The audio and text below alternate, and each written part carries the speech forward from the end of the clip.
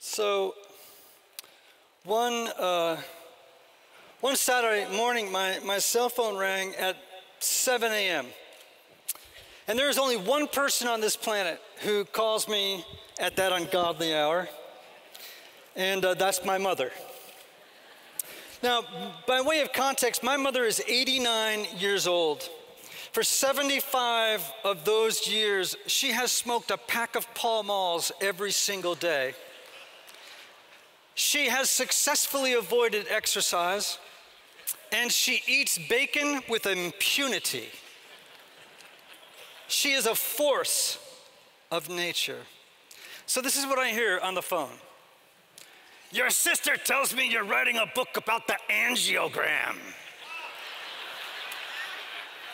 So I said, Look, I am not writing a book on the angiogram. I'm writing a book on the Enneagram.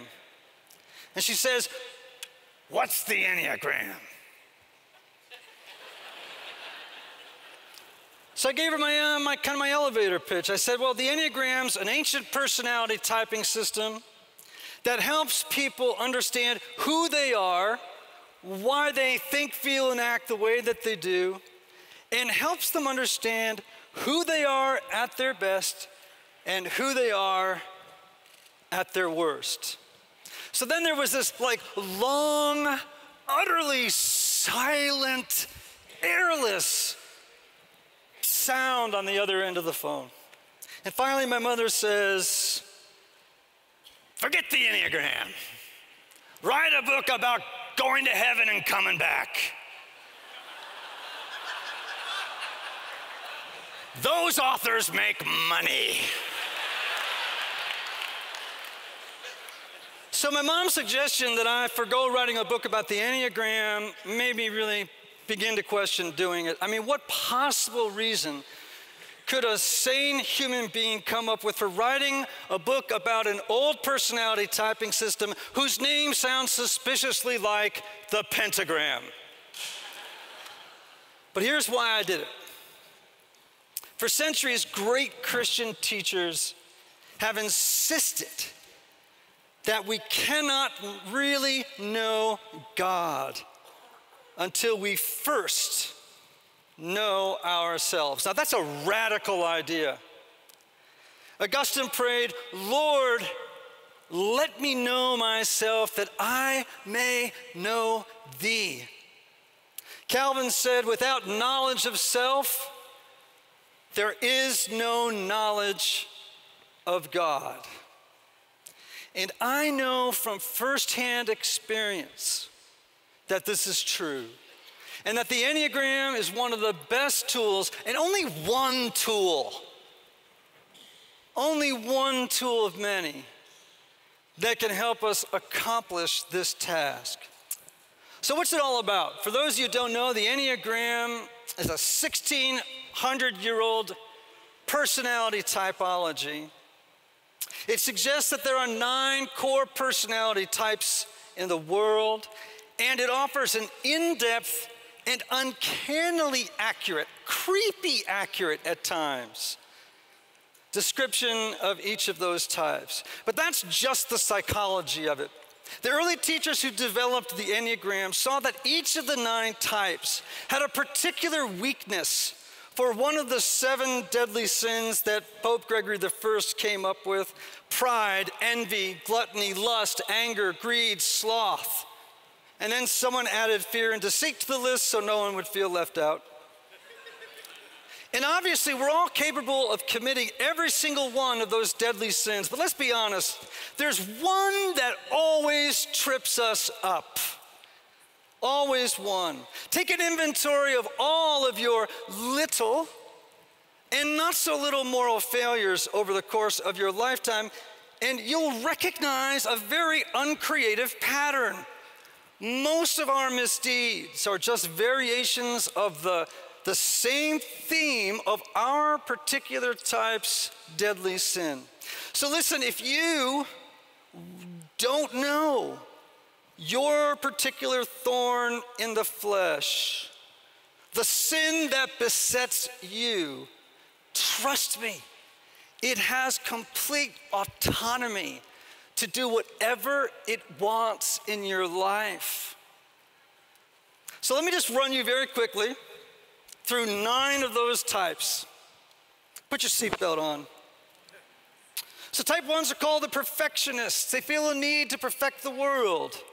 But when their deadly sin of anger takes hold of them and activates, they begin to exude a smoldering resentment and a spirit of judgment towards themselves and others. Type twos are the helpers. They're motivated by a need to meet the needs of others. But when their sin of pride takes hold, they begin to believe that they alone know what's best for other people. Threes are called the performers. These are folks that are motivated by a need to succeed. But in their headlong rush for success, they often will don a mask, a mask that will impress the crowd. And in the process, they deceive not only the crowd, but themselves into believing they are their false persona. We'll come back to four as the number that's most like Jesus in a moment. So type fives, type fives are called the investigators. They're motivated by, uh, motivated by a need to hoard vast amounts of knowledge to avoid looking inept. And their, their sin of avarice comes into play when they greedily begin to hold not just information, but love and affection from others. Type sixes, oh, their deadly sin is fear. They're motivated by a need to feel secure. And when that, that deadly sin activates, sixes turn to authority figures or belief systems rather than God to provide them with the security they yearn for. Sevens, one of my favorites, like Stephen Colbert, for example, they're motivated by a need to avoid psychological and emotional pain. And the way gluttony reveals itself in their lives is in the way they gorge themselves on positive experiences and planning great new escapades to sidestep facing distressing emotions. Eights, my mother is an eight. They're motivated by a need to assert strength, be in control, and avoid feeling weak or vulnerable. And the, their deadly sin of lust can be seen in the excessiveness they evidence in every area of their lives. And finally, nines. Oh, nines, the peacemakers. They're motivated by a need to avoid conflict at all costs. And their sin of sloth doesn't refer to you know, physical laziness, but spiritual laziness. They avoid asserting themselves, developing themselves, and becoming their own person. Now, I am a four. We are the individualists. We have a need to feel special and unique. If you've ever seen the movie Wuthering Heights, there's a scene where Catherine and Heathcliff, the main characters, they've got their noses pressed against the glass. And they're looking in on a party going on at their neighbor's house. And from the plaintive expressions on their faces, you know as they're looking in, they're saying to themselves, Why can I not become, why can I not be invited to the party of life? Why am I a misfit? Stuck on the isle of the misfit of toys. Their deadly sin is envy because they feel like they're missing something inside that everybody else has except for them.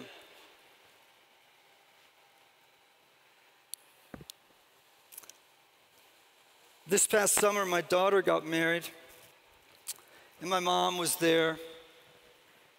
And one night, I happened to spot my book in her room on her bed as I was going out to the closing party of the, uh, of the event. And uh, I had a moment to tell her, my 90 year old, almost 90 year old mom, I love you, and I'm so glad you're here. Now, my mom isn't very expressive. But when I walked out and got about 50 yards from the cabana where we were staying, I heard the door open and I heard my mother say, I love you. You are a great son. And she has never said that to me before. She had started to do her work. you and I owe it to ourselves, to the world, and to the church to develop the kind of self knowledge that will also raise up a spring of self compassion and compassion to a world that is broken. And I invite you on that great journey. Thank you.